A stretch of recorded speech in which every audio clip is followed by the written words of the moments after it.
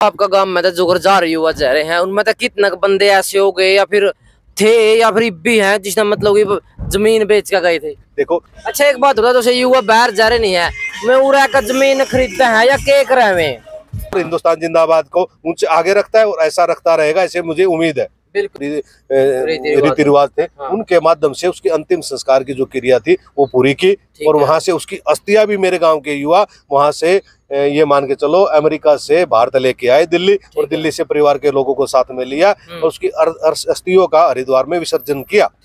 Swag media देखने वाले सारे दर्शकों ने आज गिल कुराड़ी की ओर राम राम तामने सारे ने बेरा ट्रेंड चल रहा है विदेश में जाने का।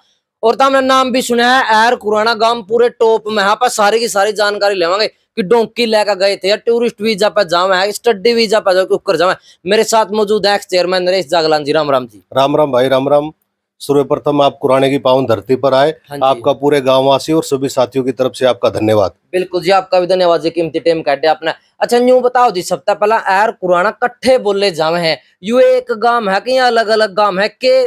देखिए अहर कुराना एक रेजिडेंशियल एक क्षेत्रफल जो रहने का है वो अलग है। हम्म, परंतु हमारी सभ्यता हमारी संस्कृति हमारा सामाजिक ढांचा इकट्ठा है। है। क्योंकि दोनों सर्व जातीय तौर पे से हर जाति के व्यक्ति निवास करते हैं। हाँ, छत्तीस कौम होती है गाँव के अंदर। हाँ, हाँ, परंतु हमारा ये दोनों गाँव रोड बाहुल गाँव है।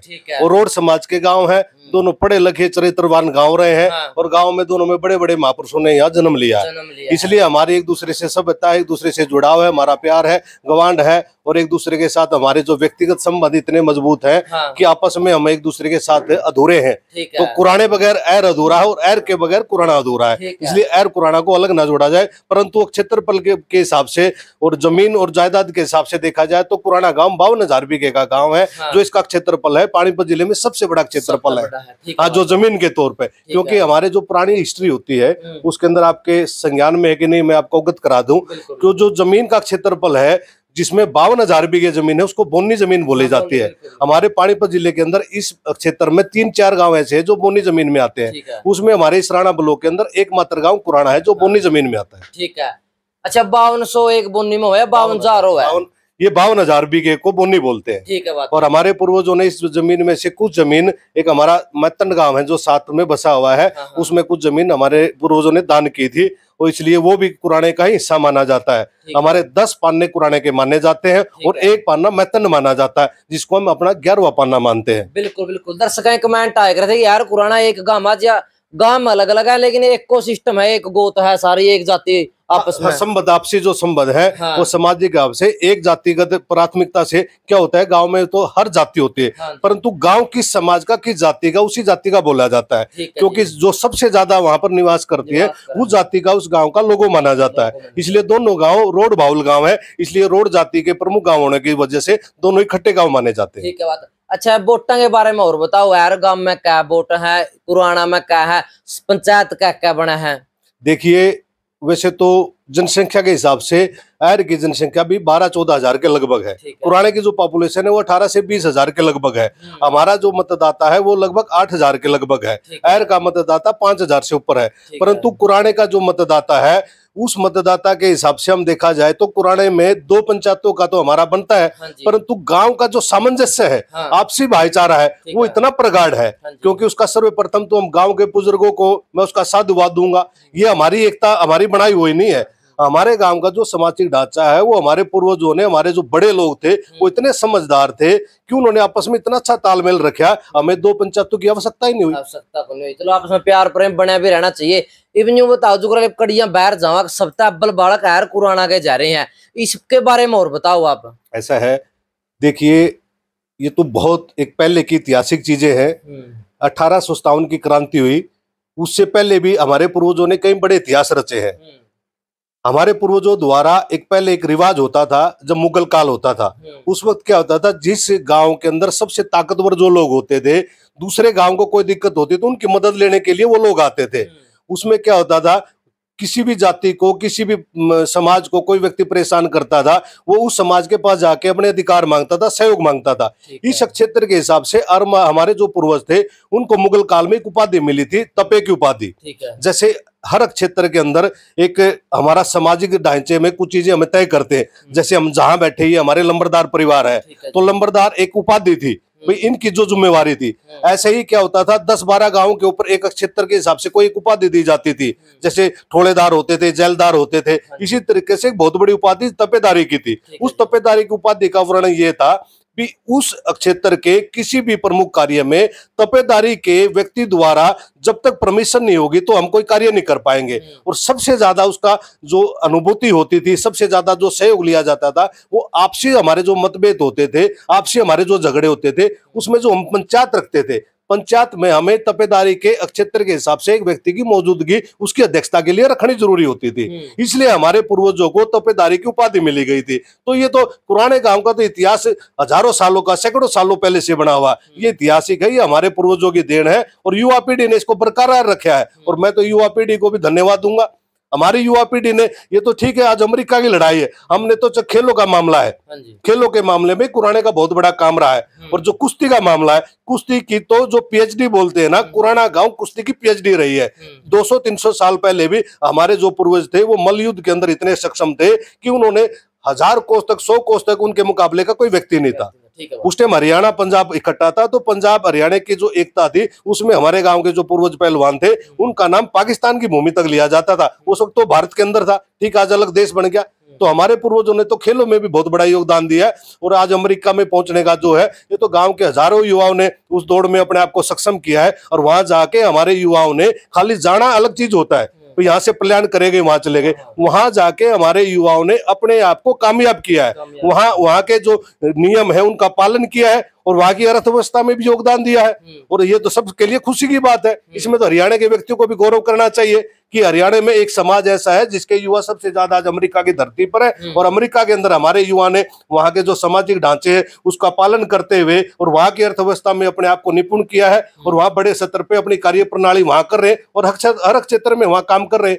चाहे वो सटोरों के वहाँ प्रबंधन की व्यवस्था हो साथ में चाहे वहाँ सहायक के तौर पे किसी के साथ जुड़ने की व्यवस्था हो चाहे वहाँ फ़ार्मिंग के साथ में सहयोग की व्यवस्था हो, चाहे वहाँ किसी कैलरिकल पोस्ट की व्यवस्था हो, चाहे जमीनी स्तर पे जो काम हो रहे हैं, उनमें भी वो काम कर रहे हैं। चाहे वो नियमन स्तर पे काम हो चाहे आधिकारिक स्तर पे काम हो आने वाले समय में ये तो वहाँ के एक दिन ऐसा आएगा हमारे गाँव के हमारे देश के जो युवा है हमारी बिरादरी के युवा वहाँ मेंबर ऑफ़ पार्लियामेंट बन के आपको दिखाएँगे। ये तो समय ने दौड़ है ये तो समय की बात है। आने वाला कल हमारे युवाओं का और हमारे पुराने गाँव का तो आपको इतिहास में अमेरिका के अंदर भी एक दिन वहाँ के जो व्हाइट हाउस सबसे बड़ा स्थान है व्हाइट हाउस के अंदर भी आप एक दिन आपको पुराने की गूंज सुनाई देगी। ये मैं आपको आश्वासन दे रहा हूँ और ऐसा मुझे उम्मीद है। हाँ। अच्छा टोटल संख्या लावा नहीं अपन जो ले यार मैं कितने के बालक जा रहे हो गए कुराना में कितने के जा रहे हो गए पहला कुराना में अब्बल जा रहे थे या यार में अब्बल जा रहे हैं देखिए इस चीज़ में एक दूसरे की हमारा जो तालमेल इतना अच्छा है हम्म। हम उसको कंपटीशन नहीं मानते हम्म। क्योंकि जाने वाले और भेजने वाले और सहयोग करने वाले हमारे दोनों गाँव के एक दूसरे से संबंध जुड़े हुए लोग हैं ठीक है उसमें कुछ युवा उनके जो यहाँ काम कर रहे हैं और कुछ ऐसे युवा है जिनकी वहाँ ज़रूरत है उनके हिसाब से वहाँ वो जा रहे हैं। कुछ परिवार ऐसे जहाँ एक दो परिवार में एक दो बच्चा यहाँ है और जिसको यहाँ लगता है यहाँ वो काम नहीं ज़्यादा कर पाता वहाँ वो अच्छा काम कर पाता है। कुछ ऐसे युवा है जो पढ़ाई में सक्षम है उनको गवर्नमेंट द्वारा भी ऑफ़र दिया गया है। कुछ वहाँ पीएचडी भी कर रहे हैं कुछ वहाँ शिक्षा क्षेत्र में उनको एडमिशन मिला वहाँ की यूनिवर्सिटियों ने उनको वहाँ पर मतलब प्रोटोकॉल के हिसाब से इन्वाइट किया है और वो आमंत्रित किया तो यहाँ से वो वीज़ा के तौर पर वहाँ गए हैं।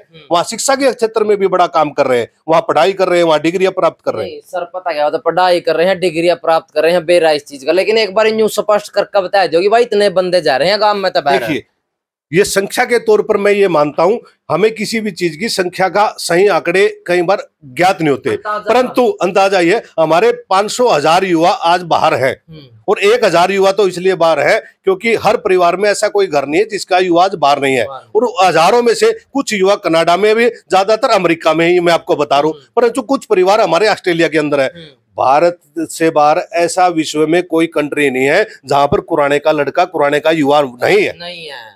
ठीक है बात। अच्छा एक बार और बताओ जो पुराना गाँव में सबसे पहला या दौड़ लाई थी नहीं किश्ती लाई थी यार? देखिए वैसे तो मैं इसको एक दौड़ नहीं मानूँगा ये समय की ज़रूरत होती है। हम्म, कल्याण क्या होता है? आपको अभी पता है हरियाणा आज उच्च कोटि पे शिक्षित है। हम्म, और हरियाणा के अंदर हमारा जो सरकारी व्यवस्था है वो इतनी सक्षम नहीं है कि हर किसी को सरकारी नौकरी उपलब्ध करा पाए।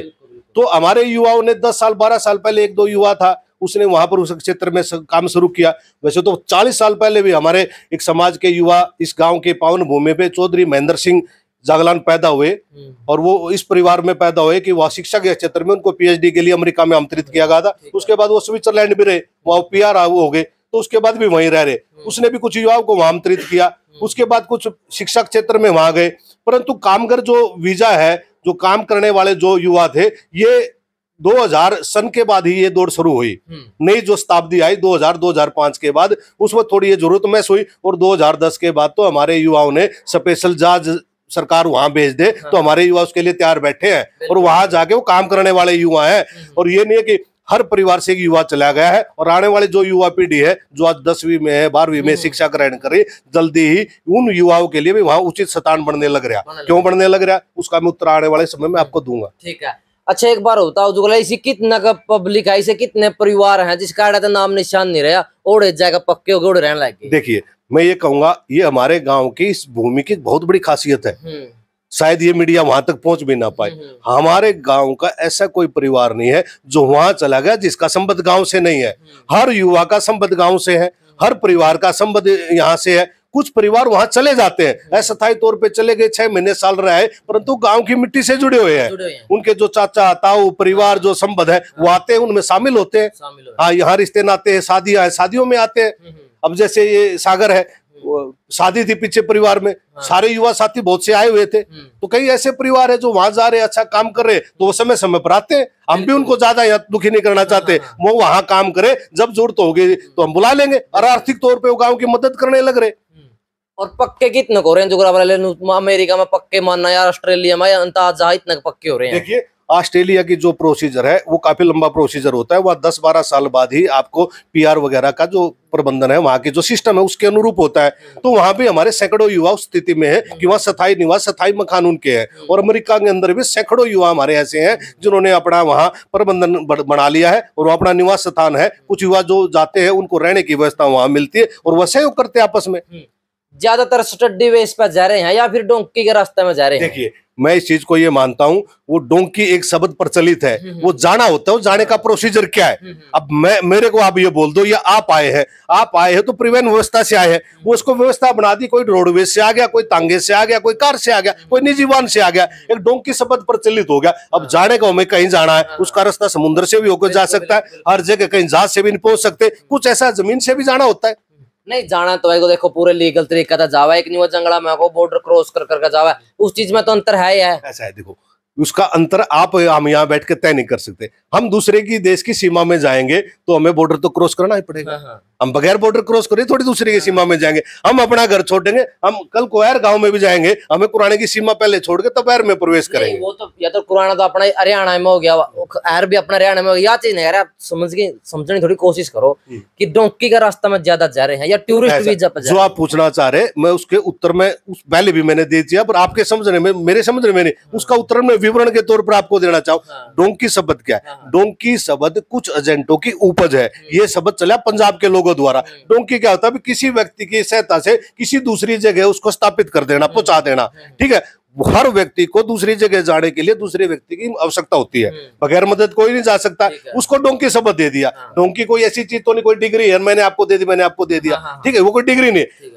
कोई भी व्यक्ति है उसको जाने की वहाँ सहयोग चाहिए। उस सहयोग में उसका प्रबंधन कौन कर सकता है उसकी परिवहन व्यवस्था कौन कर सकता है उसके रुकने की व्यवस्था कौन कर सकता है? जो लोग इस तरीके का काम करते हैं वो अपनी फ़ीस ले लेते हैं उनको डोंकी कह दिया जाता है हाँ, हाँ, और ज़्यादातर डोंकी का तो सहयोग हर व्यक्ति को लेना ही पड़ता है। बिल्कुल बिल्कुल। अगर आप बातचीत करें फिर कि टोटल बंदे कितने जा रहे हैं फिर डोंकी के रास्ते ऐसा है मैं ये कह रहा पाँच सौ युवाओं ने हमारे यहाँ से लगभग मैं ये मानता हूँ उस क्षेत्र में चले गए हैं हाँ। और हज़ार युवा हमारे गाँव से लगभग बाहर है जो। विदेशों में काम कर रहे हैं हम्म। जो वाले विदेश में जा रहे हैं बाड़गाड़ा को गाँव में संस्था भी चला रहे हैं कोई जो वाले किसी भी नाम था संस्था गाँव की। सिपाही करामदेव ऐसा हाँ वैसे है, मेरे गाँव के युवाओं ने चार बार बहुत बड़ा समाज को एहसास कराया कि हम बाहर जाके क्या कर रहे हैं? आपको पता है कुछ समय पहले विश्व के अंदर भारत के अंदर बहुत बड़ा क्राइसिस आया था। हम्म, बहुत बड़ी घटना घटी थी वो घटना थी कोरोना के रूप में। और कोरोना में आपको पता है आर्थिक तौर पर देश में कितनी बड़ी दिक्कत आई थी। हम्म, उस दिक्कत में मेरे गाँव के जो युवा थे एक मेरा गाँव एक मातृशक क्षेत्र का ऐसा गाँव था जहाँ हर महीने कई करोड़ रुपए बैंक में आते थे। हम्म, और गाँव का बुज़ुर्ग आदमी जब शहर की तरफ़ जाता था दूसरा ये पूछता था ताऊ कहाँ जा रहा है? चाचा कहाँ जा रहा है? वो बोलता था बैंक में जा रहा हाँ। है बेटा तेरे को ज़रूरत हो तो बैंक में खाते में पैसे पड़े। हम तो दूसरे की व्यवस्था में मदद करने वाले लोग हाँ, थे। मेरे गाँव के लोगों के पास बैंक में हर महीने कई करोड़ रुपए आते थे हम्म। क्योंकि हमारे युवा बाहर थे हर महीने पैसा भेजते थे। हमने तो आसपास के गाँव की मदद करी और मेरे युवाओं ने तो यहाँ की सामाजिक जो संस्था है हमारी दो तीन बड़ी संस्थाएँ हैं। हम्म, सबसे बड़ी संस्था आज हम भारत के अंदर हिंदू धर्म में पैदा हुए हम गौ माता को मानते हैं। हमारे यहाँ बहुत बड़ी गौशाला है। मेरे गाँव के हर युवा ने पचास हज़ार इक्यावन हज़ार से लेके एक लाख रुपए तक की व्यवस्था सहयोग में वहाँ हर साल देते हैं। बिल्कुल बिल्कुल। तो इस गाँव में आलिशान कोठियाँ भी है गाड्डे भी आप इस गाँव का राउंड लगावांगे चुगरदा को। ऐसा है। मैं तो ये कह रहा आप आज राउंड ये लगा रहा हाँ। जल्दी ऐसा मौका देवांगे आपको दो चार साल लोग जो मेरे गाँव का कोई युवा वहाँ से एयरक्राफ्ट लेके आएगा हाँ। आपको हेलीकॉप्टर से राउंड करवाएँगे। आप आप गाड़ी से घूमो। हाँ हाँ हाँ, चिंता मत करो आने वाले समय में पुराने के युवाओं से हेलीकॉप्टर से आएँगे और गाँव पे फुल वर्षा करेंगे हाँ। और गाँव के किसी कार्यक्रम में उनको आमंत्रित करेंगे। बिल्कुल बिल्कुल। लेवा आप भाई पूरा गाँव का राउंड करांगे। कैमरामैन तक होऊँगा आगे ध्यान दो भाई जितनी भी आलिशान कोठी आप लोग देखने लग रहे हो। अच्छा ये बताओ जी गाँव में नौकरी कितनी है? भाई मेरे गाँव में नौकरियों का भी परमात्मा की वजह से बहुत बड़ा आधार है बहुत बड़ी जनसंख्या है। ठीक है क्योंकि मेरे गाँव में सबसे ज़्यादा तो शिक्षक माने गए हैं। है क्योंकि हमारे जो शिक्षक है बहुत ज़्यादा जेबीडी टीचर यहाँ लगे थे। और हमारे जो युवा थे पहले से इतने मज़बूत थे वो हरियाणा पुलिस के अंदर भी बहुत बड़ा एक संख्या है जो मेरे गाँव के युवाओं की। आज वो बड़े बड़े पोस्टों पे चले गए। हम्म, कोई वहाँ डीएसपी सत्र पे चला गया। कहीं हमारे वहाँ इंस्पेक्टर सत्र पे है। हाँ, हाँ। सब अधिकारिक सत्र पे काम कर रहे हैं मेरे गाँव के युवा। हाँ।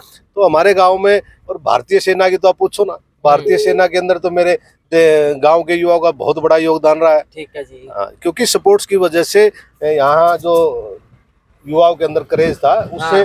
जो पुलिस और फौज की जो नौकरी थी हमारे ग्रामीण परिवेश में ये दो ही नौकरी होती थी। हाँ। ये दोनों नौकरी ऐसी होती थी इसमें युवाओं को लगता था कि हम अपने शारीरिक मजबूती से वहाँ भागीदारी कर सकते हैं। हाँ। क्योंकि जो फ़िज़िकल होता था वो ये उसको जल्दी कवर कर लेते थे। हम्म। और पहले की जो शैक्षणिक योग्यता थी वो दसवीं के पास लगभग होती थी। हम्म, हम्म, दसवीं पास युवाओं को ज़्यादातर वहाँ पर मौके मिलते थे। तो मेरे गाँव के युवाओं ने भी हरियाणा पुलिस में बहुत बड़ी भागीदारी है। हम्म, और जो आज हमारे युवाओं में नहीं हमारे जो पहले हमारे चाचा तावा के टाइम पे थे। उस टाइम भी हमारे इंस्पेक्टर सत्र पे डीएसपी सत्र पे कहीं रहे। और मेरे गाँव के अंदर तो आज सबसे बड़ी खुशी की बात है आईपीएस और आईएएस सत्र के भी बहुत युवा हैं। हम्म, जो उत्तराखंड पुलिस के अंदर हमारे चौधरी अशोक सिंह गर्ग है हम्म, जो आज डीजीपी पोस्ट पे हैं बहुत सीनियर आईपीएस रहे हैं वो लगभग जी। 1980 बैच के आईपीएस रहे हैं। हम्म। तो वो आज बड़े सत्र पे काम अगर आप गाँव में संजय की बात करा या फिर गाड़ियाँ की बात करा कौन सी कौन सी गाड़ी मिल जाएगी इस गाँव में? मेरे गाँव के अंदर ऐसी कोई गाड़ी नहीं एक ऐसा है देखो बम्बई को छोड़ के बाकी हाँ। जो गाड़ियाँ हरियाणा के अंदर है मेरे गाँव में आपको हर वो वाहन मिल जाएँगे। ठीक है? आपको यहाँ फॉर्चुनर और स्कॉर्पियो तो मेरे गाँव के हर युवा के पास है। हाँ। जो भी मेरा युवा बार भीतर आ जा रहा है फॉर्चुनर और युवा में तो हर युवा भागीदारी कर रहा है। वो तो पारंपरिक तौर पे मज़बूत वाहन माने जाते हैं। हम्म। पर मतलब बीएमडब्ल्यू मर्सिडीज वगैरह भी मेरे गाँव के युवाओं के पास वाहन है। वाहनों की कोई काम नहीं। मेरे गाँव में तो मैं आपको छोटी सी एक हस्से की बात बताऊँगा। हाँ। आप आश्चर्य मानोगे। हम्म, उन्नीस छियानवे और निन्यानवे का जो दौर था हाँ। राजनीतिक पृष्ठभूमि से उस वक्त हमारे गाँव के एक रिश्तेदार मानो या हमारे गाँव से में वो ब्याह रखे थे कड़खा गाँव से चौधरी रणजीत सिंह ने यहाँ से चुनाव लड़ा था इसराना विधानसभा से। और ये विधानसभा से उस सत्र पे माना जाओ तो उन्होंने मायावती के चुनाव चिन्ह पे लड़ा था। हम्म, तो मायावती का जो चुनाव चिन्ह था उसमें मायावती ने एक रैली रखी इसराना में। हम्म, तो इसराना रैली के अंदर मेरे गाँव के लोगों ने तय किया कि गाँव के अंदर एक भी ऐसा ट्रैक्टर नहीं हो हम्म, जो गाँव से निकल के रैली में जाए। तो हर उसमें ट्रैक्टर को उसमें शामिल होना जाना चाहिए।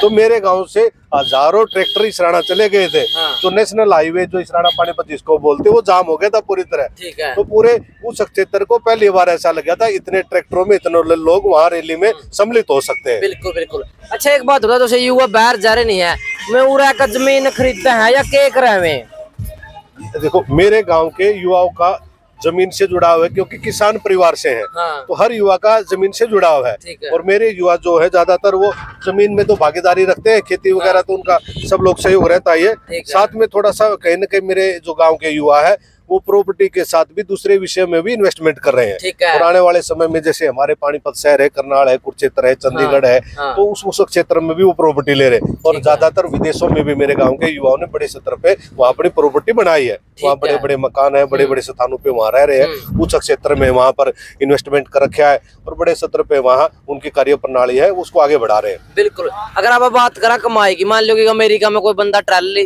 ट्रैला चला रहा है पहला कितनी कमाई थी कितनी है गटरी है बदरी है देखिए वहाँ कई बार कई चीज़ें आगे पीछे होती रहती है आपको पता है हम्म। कई बार कुछ समय ऐसा होता है कि जैसे आप कोरोना में कुछ चीज़ें घटी बदी हाँ। उसके बाद थोड़ा सा अमेरिका में कुछ मंदी का दौर है हाँ उसमें कुछ रेट नीचे ऊपर नीचे हो जाते हैं हाँ। पर उससे कोई चिंता होने की चीज़ें नहीं रहती युवाओं को वहाँ काम करना है और काम वो कर रहे हैं। हाँ। कई बार ठीक है एक आध साल छह महीने ऐसा होता है कि थोड़ा सा कुछ डाउन रहता है हाँ। परंतु वो इतने सक्षम है। और दूसरा हमें भारतीय मुद्रा का जो सहयोग मिल रहा है हाँ। वहाँ का जो डॉलर है भारतीय मुद्रा में उसका जो परिवर्तन होता है हाँ। उससे उसको ज़्यादा फ़र्क नहीं पड़ता।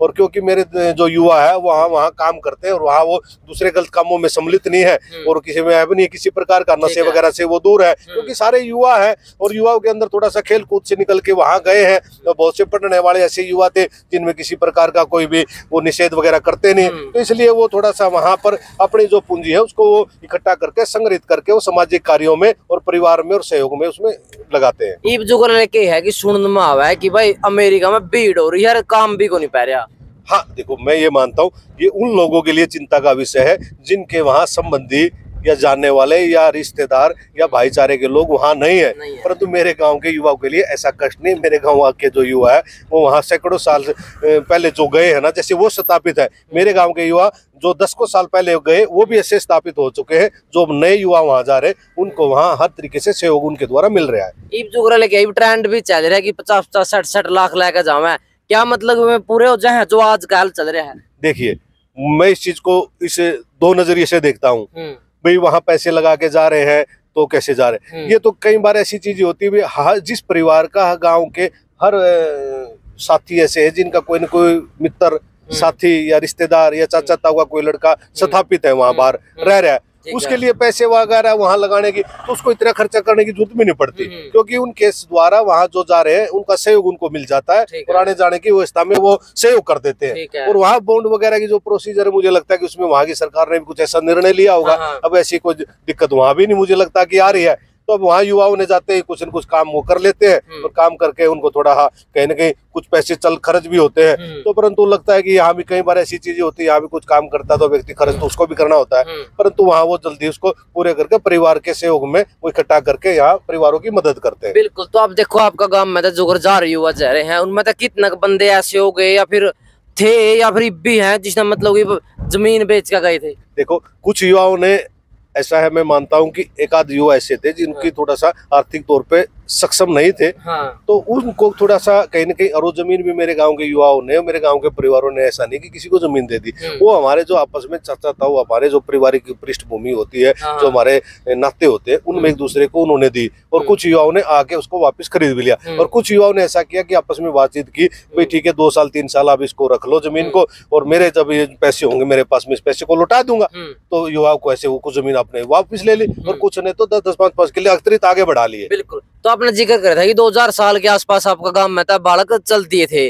तो उस टाइम पे के रेट में जाए कर दे देखो ऐसा है रेट वगैरह ये तो जो भेज रहे हैं जो जा रहे हैं उन लोगों की चीज़ें होती है। हम्म। तो उन लोगों को पता होता है कि वो क्या चीज़ें हैं। है। उस हाँ, उस चीज़ को तो मैं नहीं अपने पास से बता पाऊँगा परंतु मेरे पास जो जानकारी है उस वक्त मुझे लगता है कि ज़्यादा खर्च वगैरह करने वगैरह की मुझे लगता है कि ज़रूरत नहीं होती होगी। हम्म, परंतु उसी तरीके की उस वक्त ज़्यादा लोगों को उसमें रुचि नहीं थी तब रुचि बढ़ते है तो डिमांड बढ़ती है डिमांड बढ़ने के बाद थोड़ा सा ये हाँ। चीज़ें आपको पता है कि उसी हिसाब से खर्चे भी बढ़ जाते हैं। हाँ हाँ। और देखा जो कर पन्नामा जंगल में डोंकी के रास्ता में बहुत सारे बंदे मर भी जाओ आपका गाँव में भी कभी ऐसी दुर्घटना घटी है? मेरे गाँव में भगवान की ऐसी कृपा रही किसी युवा को जाने आने में कोई कष्ट नहीं हुआ। मेरे गाँव के जो युवा गए हैं हम्म, उनको जानने की हमें ये सूचना मिलती है कि वो ठीक ठाक पहुँच गया। अच्छा आज तक मेरे किसी गाँव के युवा के साथ कोई भी दुर्घटना नहीं घटी। हम्म, हाँ बस एक थोड़ी सी एक बार कोई ऐसी घटना हुई थी हम्म, कि उसको लगा कि मैं घटना बताऊँ या संयोगवश बताऊँ। मेरे हम्म। गाँव का युवा वो वहाँ गया हुआ था वहाँ जाने के बाद वो किसी कारणवश वहाँ यात्रा में था तो यात्रा में उसका एक्सीडेंट हो गया था। हाँ। वो युवा वहाँ डेथ हो गया था। परंतु। उसमें भी मेरे को गाँव के युवाओं ने इतिहास रचा। हाँ। उसमें सबसे बड़ी तो विषय ये बताऊँगा वहाँ उस परिवार को आर्थिक तौर पे संबद्ध बना के किस तरीके से वहाँ सहयोग करना वो सहयोग वहाँ मेरे गाँव के युवा ने वहाँ दिया। हम्म, उसके बाद वहाँ उसके अंतिम संस्कार की जो क्रिया थी उसमें भी मेरे गाँव के युवा ने बहुत बड़ा सहयोग अर्पित किया हम्म, और वहाँ उसके हिंदू रीति रिवाज हमारे सनातन जो री- रीति-रिवाज थे हाँ। उनके माध्यम से उसके अंतिम संस्कार की जो क्रिया थी वो पूरी की और है। वहाँ से उसकी अस्थियाँ भी मेरे गाँव के युवा वहाँ से ये मान के चलो अमेरिका से भारत लेके आए दिल्ली और दिल्ली से परिवार के लोगों को साथ में लिया हम्म। और उसकी अस्थियों का हरिद्वार में विसर्जन किया ठीक है अच्छा एक बात और बताओ जुगल हर गाँव में बम पटाखे बैन करती हैं कि पहला अमेरिका जाया करते बम पटाखे बजाया करते कुराना में भी है कुछ देखो मेरे गाँव के जो सीनियर सिटीजन व्यक्ति है जो हाँ। पढ़े लिखे व्यक्ति जो बड़े आदमी वो इसका विरोध करते हैं मैं है। इसके पक्ष में नहीं हूँ परंतु कुछ युवा है हर्षोल्लास में कई बार खुशियाँ मनाने के माध्यम से उसको कर लेते व्यतीत हाँ, हाँ। नहीं ज़्यादातर ऐसा नहीं की बम पटाखे से ही करते हो हाँ। मेरे गाँव के युवा में एक रिवाज है वो अपने देवी देवताओं पे प्रसाद चढ़ाते हैं हम्म। जो हमारे मन्नतें हैं उनको संपूर्ण करते हैं हम्म, भोग लगाते हैं जगराता करवाते हैं हम्म। और साथ में कुछ युवा प्रसाद के तौर पे मीठा मुँह वगैरह करवाते हैं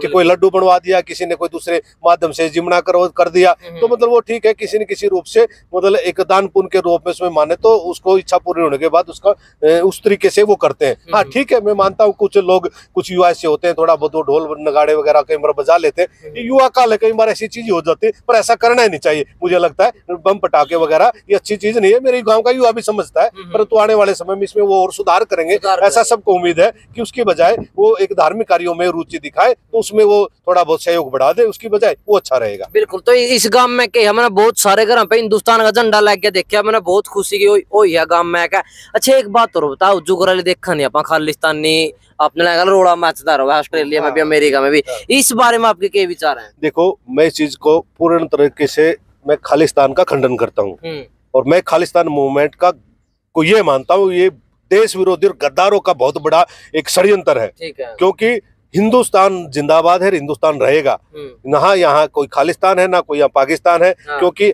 हमारे और सिख समुदाय की हम्म, जो हमारे संबंध है हाँ। वो उस गहरे संबंध है वो हमारे नाखून है है। जैसे हम हाथ है। हम्म, तो हमारे एक कहते हैं ना खून का वो रिश्ता है हाँ, क्योंकि सिख समुदाय की जो स्थापना काल हुई खालसा पंथ हाँ। की जो स्थापना काल हुई हाँ, वो इतने अच्छे विषय पे आपको संज्ञान होगा कि हिंदू समाज के कुछ वर्गो से कुछ युवाओं को उस वक्त शामिल किया गया था। हम्म। उनके वजह से सिख समुदाय की स्थापना हुई परंतु संपूर्ण सिख समुदाय बुद्धिजीवी आदमी भी उसका समर्थन नहीं करता और हरियाणा में खालिस्तान वगैरह की मूवमेंट का कोई असर नहीं। हमारे युवा तो भारत का नाम वहाँ रोशन कर रहे यदि विदेशों में भी हम्म, भारत विरोधी कार्यों में कोई लिप्त मिलता है हाँ, तो मेरे गाँव का मेरे समाज का और मेरे हरियाणा का युवा उनका विरोध करता है और वो उनके साथ टकराव लेता है और हाँ। वहाँ भारत जिंदाबाद का झंडा हाँ। बुलंद करता है और। हिंदुस्तान जिंदाबाद को ऊँचे आगे रखता है और ऐसा रखता रहेगा ऐसे मुझे उम्मीद है। बिल्कुल बिल्कुल।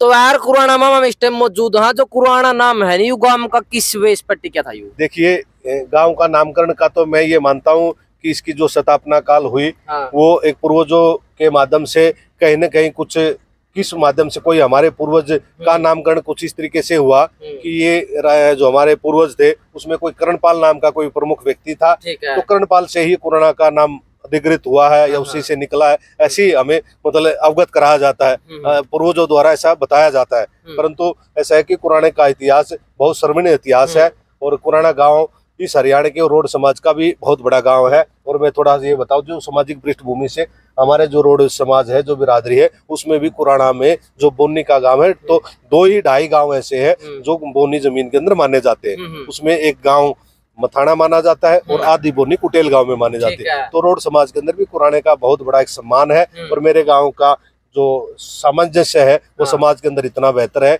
वो समाज के सभी कार्यों में रुचि लेते हैं। और मेरे गाँव के युवाओं का भी आने वाले समय हाँ। में उसका पालन करेंगे ऐसी मुझे उम्मीद है। आपने यूँ नहीं लगता कि कहीं ना कहीं भाई गाँव में युवा कदे टोया भी नहीं पावा है कुछ साल लगे बाद। देखो ये उस नज़रिए के लोगों की सोच होती है जिसको अपना भविष्य धूमिल लगता है। हम्म, हम्म, परंतु ऐसा नहीं है मेरे गाँव के अंदर आप जाओगे हर गली में आज भी युवा खेलता मिलेगा। हाँ, खेल के मैदानों में भी आज युवा है हाँ, और आप सुबह सड़कों पे जाओगे तो बहुत से युवा वहाँ रेस लगाते हुए भी मिलेंगे हम्म, और बहुत से युवा ऐसे हैं। जिनको लगता है कि आगे शिक्षा के क्षेत्र में तैयारी करके वो भी नौकरी पेशों की भी वो कर रहे हैं और खेलों के मैदान में भी भागीदारी ले रहे हैं। हाँ, तो मेरे गाँव के युवाओं में ऐसा नहीं कि खालीपन है। हम्म, युवाओं के अंदर आज भी युवा है और जो नई पीढ़ी है वो नए रूप में तैयार हो रही। और मेरे गाँव का तो एक बहुत बड़ा परमात्मा का एक आशीर्वाद है। मेरे गाँव का युवा खेल कूद के माध्यम से बहुत जल्दी ही जवान हो जाता है हाँ। और उस अवस्था में आ जाता है कि वो समाज के जिम्मेवारियों को और परिवार की जिम्मेवारियों को अपने सिर पे ले लेता है। बिल्कुल। और एक बात बताओ जुगरले साल में नहीं है कितने बंदे जाले हैं बाहर? देखिए ये एक वो दौर है ये विस्थापन का समय है और विस्थापन का जो समय होता है उसमें किसी भी चीज़ का सही आंकड़े का आकलन तो हो ही नहीं सकता। हाँ, परंतु युवाओं के अंदर आज इस चीज़ का बड़े ही उस स्तर पे क्रेज है हम्म, कि हर व्यक्ति को लगता है हर युवा को लगता है कि मुझे शिक्षा भी बाहर ग्रहण करनी है और मुझे अपने आप को कहीं ना कहीं बाहर से जोड़ना है। तो विदेश में हर ऐसे देश के अंदर चाहे यूरोपियन देश है हम्म, चाहे मुझे लगता है अरब कंट्रियों में थोड़ा सा हम्म। कम रहता है हम्म, परंतु अमेरिका और बाकी की जो कंट्रियाँ उनमें भी मेरे गाँव के युवाओं का बहुत बड़ा रुझान है और आने वाले सत्र में भी युवा उसमें सम्मिलित होते रहेंगे। जिसके सगे संबंधी वहाँ है हाँ। जिसके माता पिता या चाचा ताऊ वहाँ है हाँ। तो वहाँ नई पीढ़ी के जो युवा है। उनको भी वहाँ जाने का अवसर मिलेगा बिल्कुल अच्छा न्यू और बताओ जुगर गाँव में बाहर तल्लो मैरिज कितने गोरी अंग्रेज़ नागल है देखिए इस क्षेत्र में मैं मेरे गाँव के युवाओं का सराहनीय करूँगा। हाँ, वो विदेशी संस्कृति और सभ्यताओं को अपनाने वाले युवा नहीं है। हम्म, वो अपने संस्कृति और सभ्यता का पालन करते हैं। हम्म, वो कुछ युवा ऐसे जो दस दस साल बाद भी यहाँ आए हैं परंतु उन्होंने यहाँ आने के बाद ही अपने रीति रिवाज और परिवार की मर्ज़ी से ही शादियाँ। की हैं। अच्छा बिल्कुल आप यूँ कह सकें कि एक भी बंदा ऐसा नहीं है जो अंग्रेजन ने ब्याह के ले रहे हो। नहीं नहीं ऐसा कुछ नहीं मेरे गाँव के हम्म, जितने युवा है जो गए हुए हैं वो अपने सामाजिक दायित्वों को समझते हैं हम्म। और भारत के रीति रिवाजों के अनुरूप ही वो अपने रिश्ते नाते बना के और परिवार के सहयोग से ही अपने जीवन की आगामी जो योजना उसको सम्मिलित करते हैं आगे बढ़ाते हैं। हाँ जी तो आपका बहुत बहुत धन्यवाद जी। हाँ आप भी आए आपका बहुत बहुत धन्यवाद। और इस पेज के माध्यम से मैं आपको भी और सभी गाँव वासियों को भी और सभी युवाओं को यही निवेदन करूँगा कि वो आने वाले समय में जिस क्षेत्र में वो जिस तरीके से बाहर जाके अपने इस क्षेत्र में अपना भविष्य बना रहे हैं तो वो गाँव का सम्मान और गौरव आगे बढ़ाए और उसको उसी क्षेत्र से एक दूसरे के साथ परस्पर संबंध बना के रखें और भारत को और हिंदुस्तान का नाम आगे बढ़ाएँ और खालिस्तान वगैरह के जो ये विषय है वो मेरे गाँव का युवा उसमें सम्मिलित नहीं होता वो उसका गौर निंदा करता है और हिंदुस्तान के रीति रिवाज और संबंध और हमारी परंपरा और संविधान का पालन करके वो समाज के साथ खड़ा रहेगा, मुझे यही उम्मीद है। धन्यवाद, जय हिंद, जय भारत। तो भाई, वीडियो किसी लागिए कमेंट ज़रूर कर दियो। जय जवान, जय किसान।